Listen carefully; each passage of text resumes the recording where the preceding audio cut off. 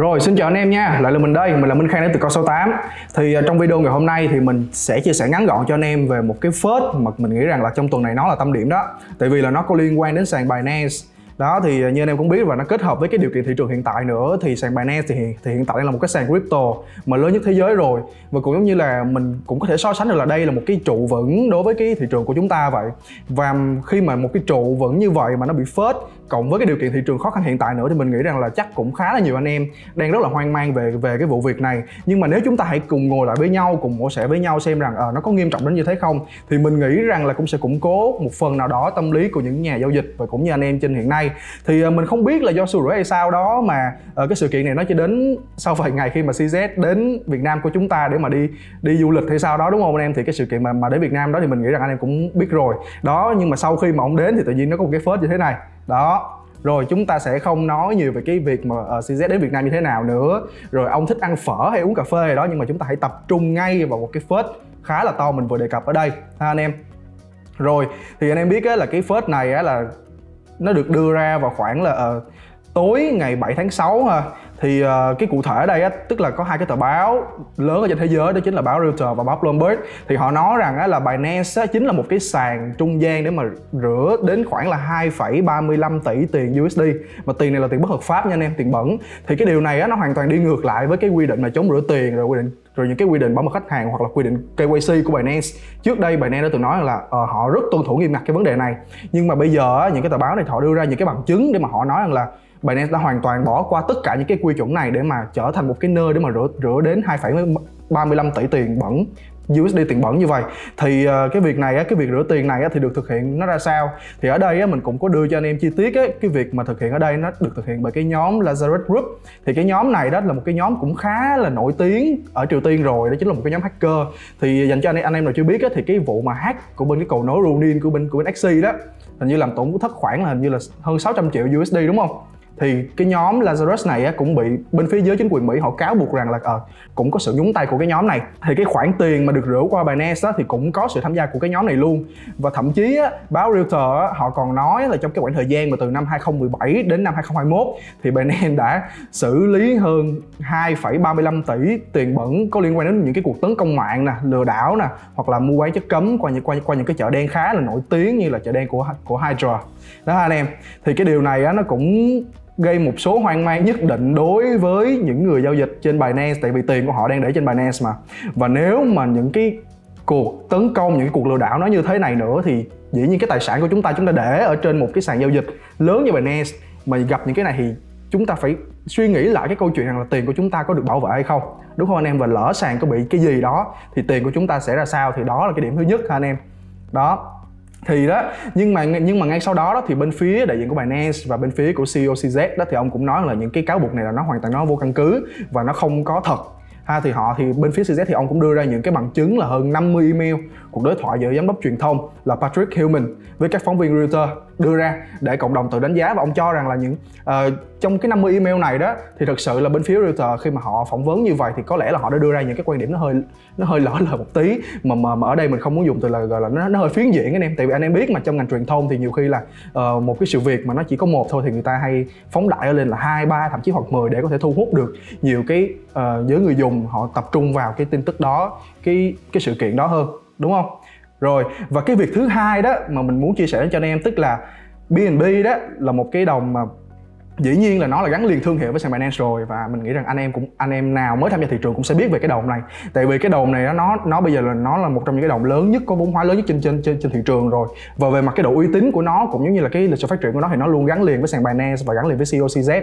thì uh, mới đây đó thì thì thì BNB đã bị cáo buộc là chứng khoán. Thì cái trường hợp này á anh em có nghĩ giống như mình không? Là chúng ta hãy liên tưởng lại tới cái đồng Ripple đúng không? Cái đồng Ripple bây giờ là nó là được đổi thành chúng ta không gọi là Ripple nữa mà chúng ta hay gọi là XRP đó. Thì á cái bên phía cái đồng BNB này bây giờ là xét đã bị xét là uh, uh, điều tra và cáo buộc đây đây là chứng khoán. Thì liệu cái sự việc này á nếu mà lần đầu tiên chúng ta tiếp cận với cái thông tin này đi anh em thì chúng ta sẽ nghĩ rằng là à có lẽ là nó nó nghiêm trọng thật rồi nó khá là gây gắt thật rồi. Nhưng mà đây đây chính là cái điểm đầu tiên mà mình muốn đề cập ở video mà là mình muốn mổ xẻ cho anh em đó. Tức là sao?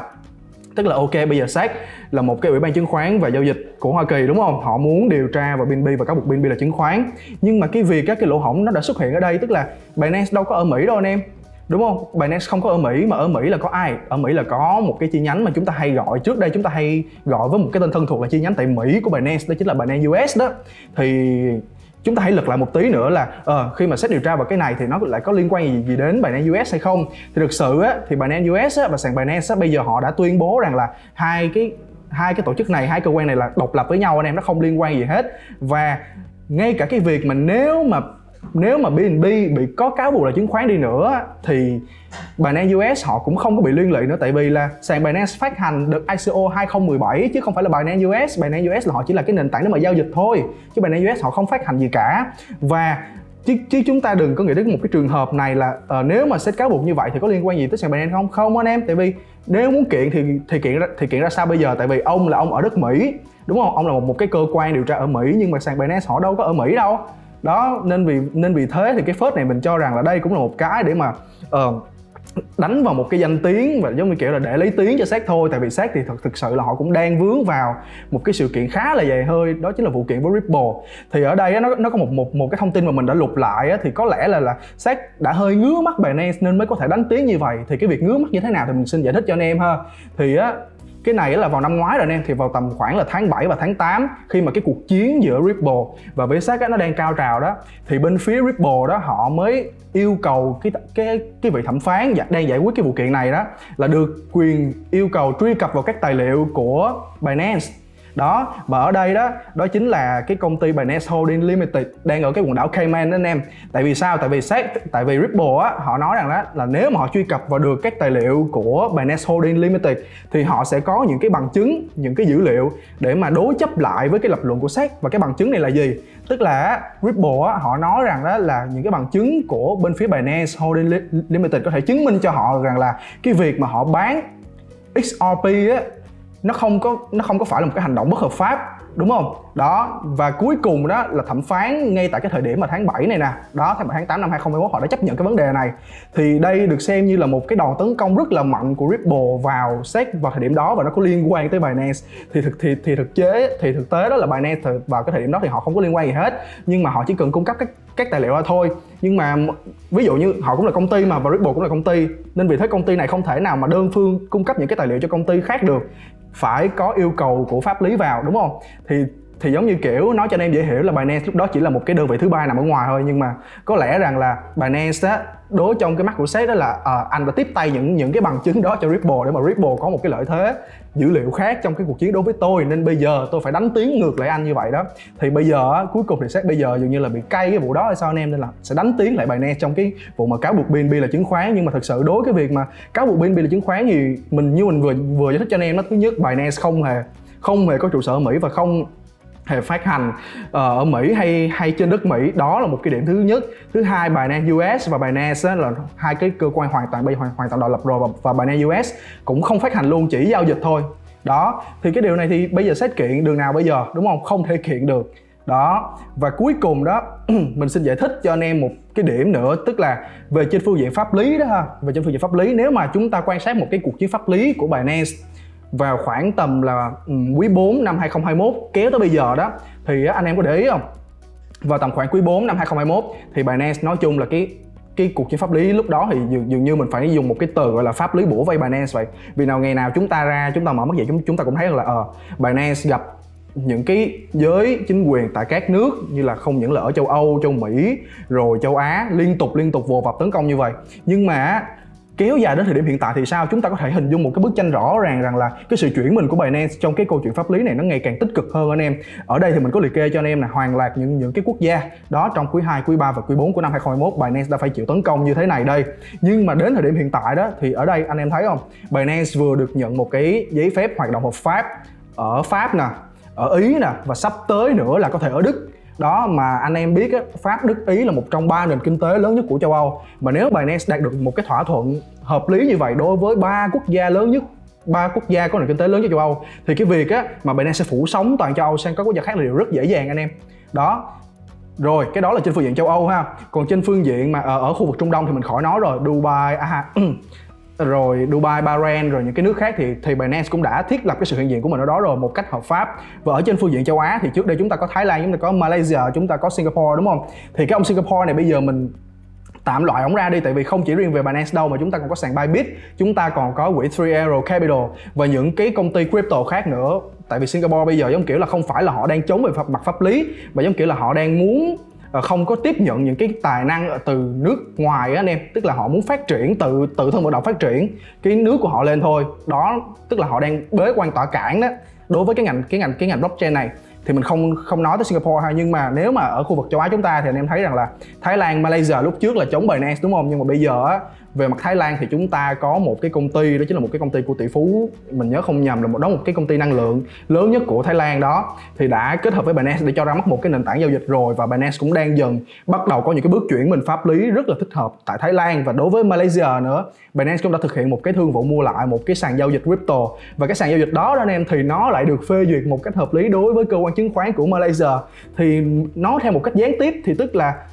Bây giờ Binance đã mua lại cái công ty đó và đã cùng công ty đó phát triển crypto hơn nữa và cái công ty đó lại được cơ quan chứng khoán của Malaysia phê duyệt thì chẳng khác nào là cơ quan chứng khoán của Malaysia bây giờ đang mở cửa cho Binance, đúng không? Đó, thì ờ, đó là một cái những cái diễn biến chung của Binance khi mà họ bắt đầu họ thay đổi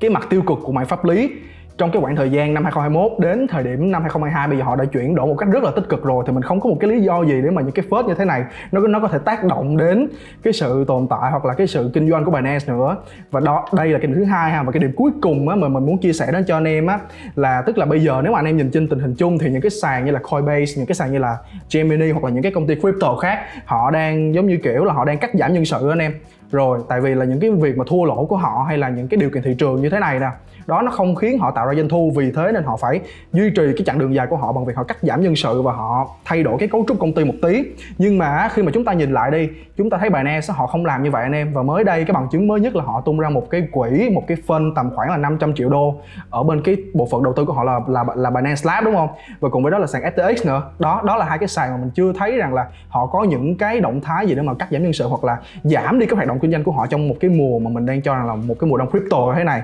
thì đó là những cái bằng chứng cho chúng ta ta thấy được rằng là uh, Binance có lẽ là cũng sẽ chỉ bị phớt giống như những cái phớt khác mà thôi. Chẳng qua là ok chúng ta đang ở trong cái điều kiện thị trường nó quá là khắc nghiệt như hiện tại và những cái phớt này nó nó cũng khá là to tại vì nó có cái chữ Binance gắn vào đó. Nên anh em khi mà anh em đọc vào thì chúng ta uh, chưa kịp ngồi lại với nhau để mà chúng ta nói chuyện chúng ta thảo luận về những cái câu chuyện này nên tâm lý anh em sẽ hơi hoang mang ha. Rồi và đó là những gì mà mình vừa chia sẻ cho anh em ở trong video này. Và hẹn anh em ở video tiếp theo nha xin chào anh em. Bye bye.